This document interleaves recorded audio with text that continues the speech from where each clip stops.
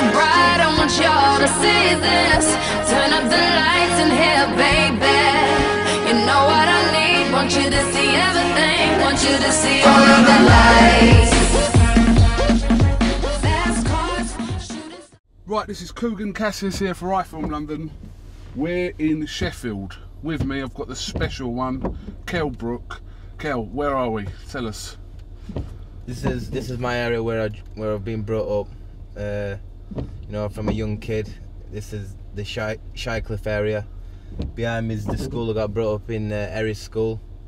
This is where I got brought up, and this is where this is where it went down. Yeah? For, for me as a young kid, you couldn't you couldn't keep me off these streets. So, it's your grand, uh, grandparents' house there on the right. Yeah, grand grandparents is there, man is there, and you know What what I way are we going? Left? left up here. Left up here. all my family, all my family, a lot of my family, all all living on the on the on this uh, on this estate. Really? Yeah, we're all we're all just how how we how we've been brought up. You know what I mean? It's just we just we just walk around to each other's houses, go in go Like Ramsey Street? yeah, go in each other's fridges. You know what I mean? Get what we want. Yeah. It's, it's, it's this tie like that. It's it's not even just about our family. Just everyone knows everyone on this on this estate. Are you the, the sort of houses that leave their back doors open and everyone just goes through Yeah, the back? ev- everyone just in the back. You don't you don't even know who's in your own house.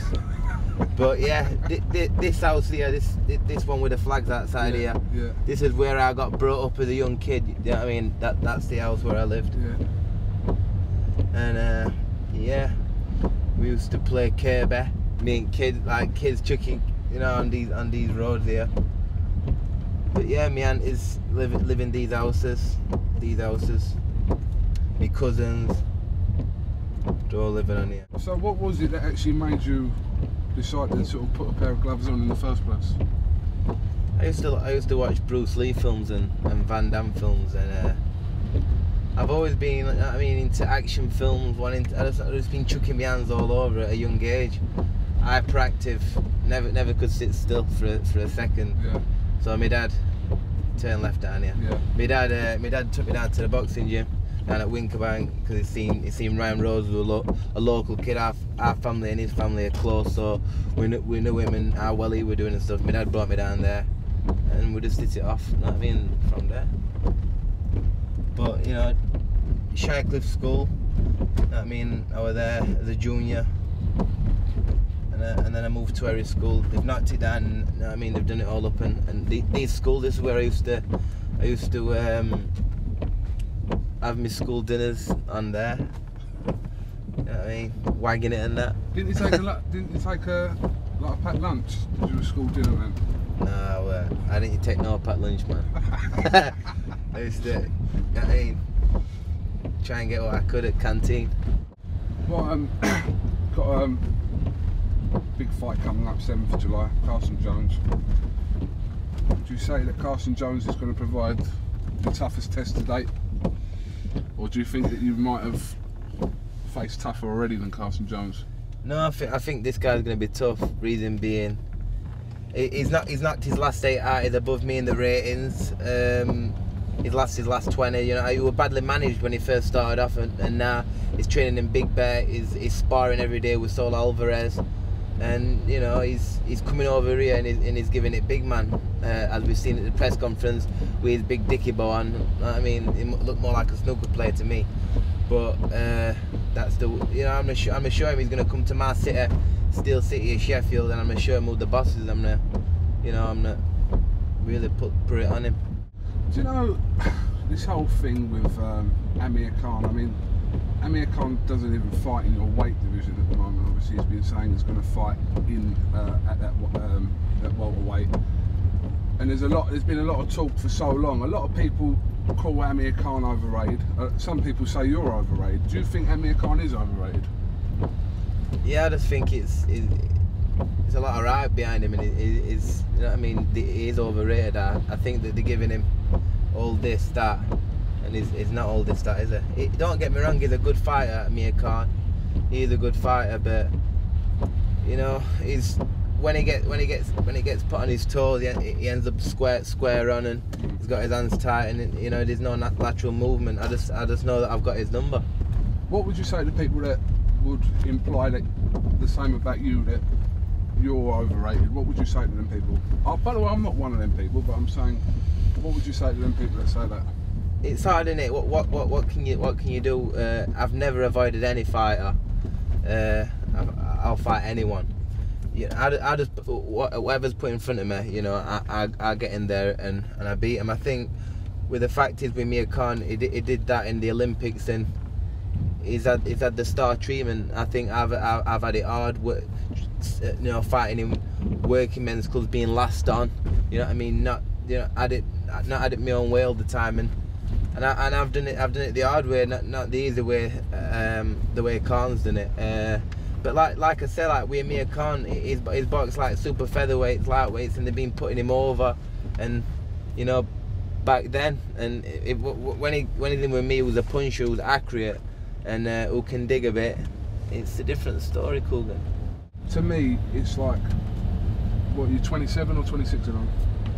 27. 27 and on. Um, it seems to me that you're on the verge of something great.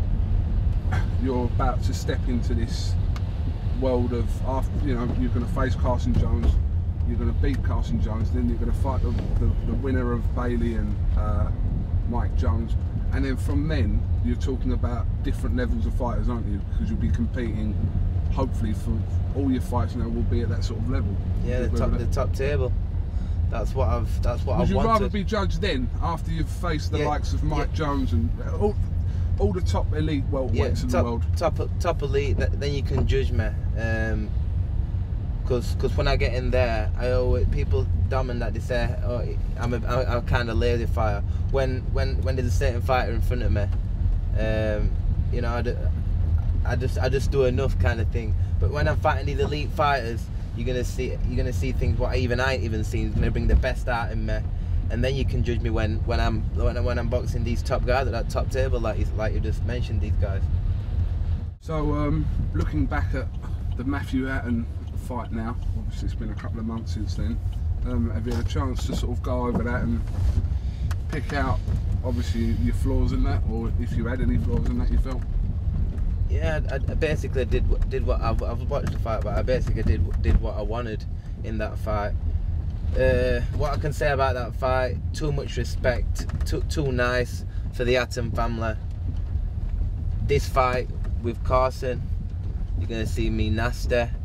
You're gonna see me. I don't I don't know this kid. I don't like him. The way he's come on, the way he's I, I elected. So he's getting some of this. That's what he's getting. Do you know what? Saying that Carson Jones obviously has knocked out his last eight opponents, and I can see Carson Jones genuinely is coming here to fight. He's genuinely coming here to, to, to win, isn't he? In his head, that's what he thinks is going to happen. Yeah, Obviously. he's, he's been saying quotes like he's he's gonna have to kill me to beat me and and all this, but you know whatever it takes. I'm I'm 27 and 0. I I'm not going in this fight uh, thinking I'm gonna lose. I'm I'm going out. I'm going to take this guy out. He's getting took out. Believe me. What sort of reception do you have here in Sheffield? Obviously, you're in the gym every day at uh, Bank, but when you're out in Sheffield on a daily, day-to-day basis, what's the reception like from the fans and you know the people inside Sheffield to you? Yeah, I got a good. You know, um, since being with we had a Matchroom, my profiles just hit the roof. As in, as in wherever I go, it's not even about Sheffield. Wait, if I get go out in Sheffield, I get I get, I get mobbed with, with with photos, autographs, and stuff like that. Uh, since going, since going, we had uh, big things. You know, my profile's risen. But yeah, every, everyone's behind me in Sheffield. We got a packed out crowd at Sheffield Arena. They're, be, they're behind the fighters, the Sheffield, the, She- the Sheffield, you know, the Sheffield fans.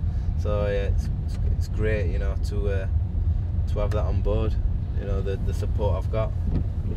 But even your own Sheffield people, people like Naseem Hamed and Johnny Nelson and all these guys, you know, they, they, they rave about you and they know, obviously, um, you know, for someone like when I interviewed Naseem Hamed at your fight, Yeah. you know, he was, he said that the nearest thing, obviously, you're not, he, to Naz, you're not going to be as great as him, but the Yeah. nearest thing he can see to himself or the thing that excites him is you, you know, and he was full of praise for you, which Yeah. which you can expect in you know in some respects, but he hasn't got to say these things. But but it looks like everyone sort of. It's like we're waiting for another superstar to be born. You know, we and a lot of people say that it's going to be you. So I'm going to deliver. I'm going to deliver, Kugan. what makes you so sure you're going to deliver? What What is it in your head that tells you that? I think it's it's my time in it. I think, like Naz said on camera to you, I'm the nearest to him. Uh, I've had it as a young kid coming through watching Naz, and he's al- he always praised me. He says every ten years there's there's another one, and he says you're the chosen child, you're the next one, and uh, to hear that from him is obviously it's obviously good. But I've had pressure on me. I've had pressure on my career, and uh, I've always delivered. And and I think I, I know when when these when these elite fighters come on board, you're gonna see you're gonna see me turn into a, a monster and uh, you know deal with him. How important is the, the unbeaten record to you? Obviously, you, you, I say you're 27. now, You haven't you haven't experienced that that feeling of defeat yet, and I hope you don't um, experience that defeat. But is that on your mind to protect that record as much as anything else, or do you think that you know it, that's secondary to who's in front of you? it, it it's it's you've got to have a good record, as in the sense that you've never been beat. You capture the public's imagination, don't you? You know, this kid's never been beat. We need to watch. When you've got losses, people think, oh, you know, he's he's lost or whatever, and it's not. It's nowhere near as good, is it? I want. I want to keep that. I want to keep my record the way it is. Um, you can't. You can't beat a clean record. That zero is very nice. So I'm just gonna continue training very hard to make sure that zero stays there, uh, because I'm I'm in touching distance now, becoming the champ, The champ. the champ, and uh, Do you think you might have this? Um, oh, listen, I'm not going to talk ahead of the Carson Jones fight because I know it's a, a tough test in front of you. But ideally, would you like this fight this year with the winner of Bailey and most definitely, Jones? yeah, definitely. Uh, I'll be I'll be pestering Eddie like you've never known. I don't think you've got to pester him too much Aye. for that. I think he'll be looking for that anyway. won't he? Well, I, I'm not pestering him. I'd like the I'd like the British fans to have. I would like the fight over here. That's what I would him. Make sure that we get it over here because we need a big massive. We need a big massive fight. You know, my, my grandma and granddad are getting old now. They, they can't travel. I like I like my granddad there ringside because he's he's, re- he's really into his boxing and I'm proud that they're proud of me and I'd love to I'd love to you know capture that world title and and be and be uh, you know in front of my own fa- my, my family and my, and my and my close friends and you know really just stoke you up you know and and win that title. All right, Kell. Listen, thank you for showing us around uh, where you grew up and that. Um, good to talk to you again. You always talk to us anyway, so Yeah, always got time for us, haven't you? always got time. Um, we're just about to head off actually. Uh, oh, we're rolling in the same cars as well. We're, you know, I didn't, I didn't realise. We are, aren't we? Yeah, we're rolling in the same car. Uh, where is your car? it's uh, it's Is- down oh, it? Yeah. I'll pull over there. I didn't know. I thought this was the road for some reason. Um, yeah. No, thanks for talking to us. We're going to uh, Dave Coldwell's show, Curtis Woodhouse versus Dale Miles.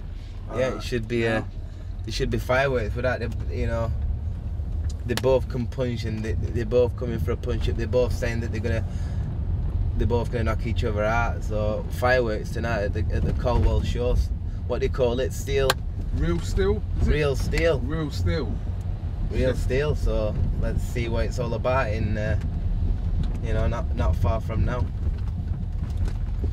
All right, Kell. Here's your car here. You just see it there. Um, all right. Well, listen. We'll see you at the show. Um, I'm sure we'll be seeing you before 7th of July at various press-related things. Yeah, So you're looking sharp today as well. Come for green. come for green. Right. This is Kugan Cassius here for iFilm London in Sheffield. What part of Sheffield are we in right now? What's it called? we're in Shirecliffe area, just you know, Parsons Cross is just there touching. This is Shirecliffe, Penrith Road. This is where I, I got brought brought up.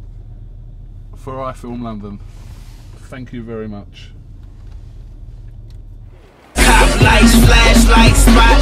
strobe lights, street lights, all of the lights, all of the lights. Fast life, drug life, thug life, rock life, every night. All of the lights, all of the lights,